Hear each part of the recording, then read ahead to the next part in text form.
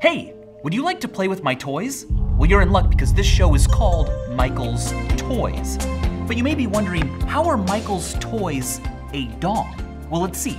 You can watch me play with my toys online for free, which means they are by definition a DONG. That's something you can do online now, guys. Plus, I know the password to this channel and can upload whatever I want. And I really want you to see this toy. It's called a Genaille Lucas ruler set. They are beautiful. They were invented in 1891 as a way of multiplying numbers without having to do a lot of mental calculation. Look at how beautiful they are. Oh, yes, these wooden rulers were created by a company called Creative Crafthouse. I just got them right on Amazon, but you can make these at home yourself. Just look up a guide online. Wikipedia has a great one. Look at these beauties. Let's take these out of the case and see how they look.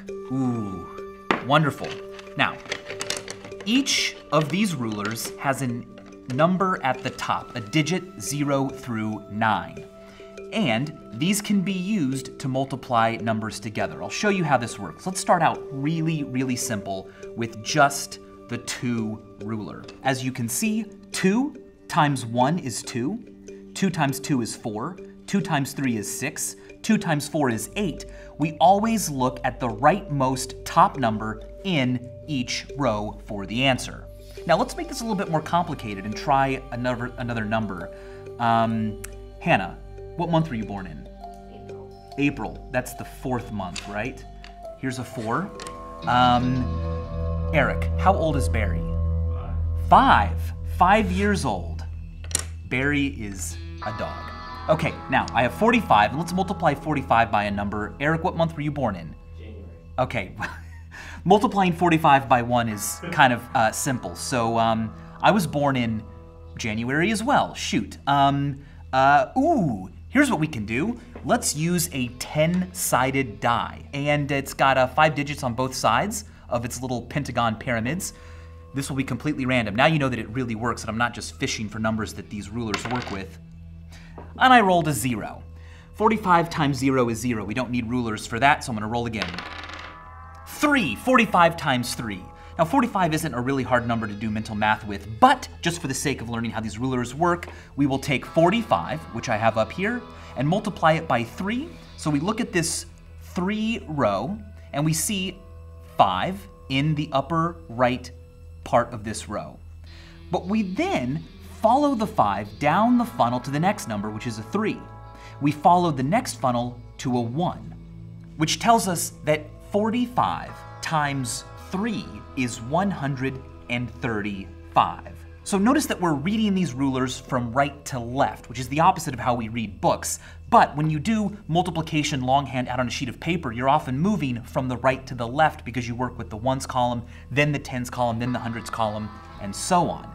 So let's make this a little more interesting and pick a bigger number than 45. What number should we pick? Well, that's what this die is for. We're gonna do 900, 9, 900? Let's make this a five digit number. Okay, so 90,000. I just rolled a zero. There's 90. And the next three digits are two. 90,232. All right, I only have one two ruler, so we're gonna roll again. One, perfect. 90,231. And we're going to be multiplying that five digit number by zero. No, we won't. Zero is too easy. We're, four, we're gonna multiply it by four. Now you could do this longhand on a sheet of paper, but it would take you a bit longer than just looking at these rulers. So the answer to 90,231 times four is, reading from right to left, four, two, nine, zero, six, three. Perfect, beautiful, simple, and so well crafted. So, how do these work? Well, a clue to how they work is in the fact that we have to read the answer from right to left. What's going on is that when we multiply two numbers together, for instance, let's go back to the 2 because it's a very easy way to see how these work. We'll notice that 2 times 1 gives us 2, 2 times 2 gives us 4, 2 times 3 gives us 6, 8, uh-oh, 2 times 5 is 10, but there's just a 0 in this upper right part of the row. The reason for that is that 0 is in the ones digit of 10. So where does the 1 go? Well, the 1 is carried over to the next ruler. That's why the funnel coming off of this 0 takes us not to the top number in the next ruler, but down 1. That is where we add the 1 that we're carrying over from the 10. Uh, if we use a larger number like 9, now we've got many different numbers that we're going to be carrying over because 9 times 1 is 9, but 9 times 2 is 18. There's the 8, which is in the ones digit place. The 1 is carried over by the fact that this funnel brings us down 1 on the next ruler. In this case, it's just the index because I'm only multiplying 9 as a digit. But 9 times 3 is 27. There's the 7 in the ones place of 27, and then the funnel takes us down not one, but one, two places. So we're adding 2 to the next number. For instance, if I take 29 and multiply it by 3, I take 3 times 9, which the ruler gives us as 27. There's the 7 in the ones place.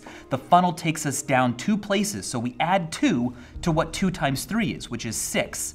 We add the 2 from here because the funnel takes us down two more places, so that becomes an 8. Now we get carried straight up to the zero because nothing winds up in the hundreds place. Nothing carries over further. This funnel just takes us up to the top. So the number is 087, aka 87. 29 times 3 is 87. Thank you, Genaille Lucas rulers. Now you might notice that some of these rulers have more than one triangle in some of their cells.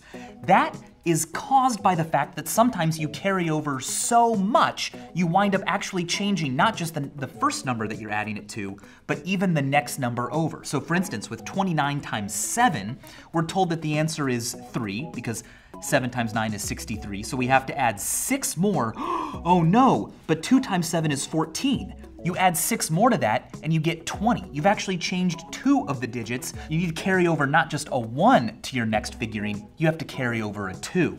So at that point where we're carrying over two, we get a new triangle that takes us not one down, but two down. We're adding two to our next figure. So there you have it, Genaille Lucas rulers. They're beautiful. They of course have obsolesced in the last hundred years or so. We now have calculators and computers to do figuring like this, but they're still useful as a way to investigate, play around with, and visually appreciate how our number system works. So thank you, Mr. Genaille, and Mr. Lucas as well for posing the problem that led Genaille to invent these in the first place. As you can probably tell, I like learning new things. I'm always hunting out new challenges, new things I can study to make myself a better person. If you'd like to do that, you might want to check out this episode's sponsor, Skillshare.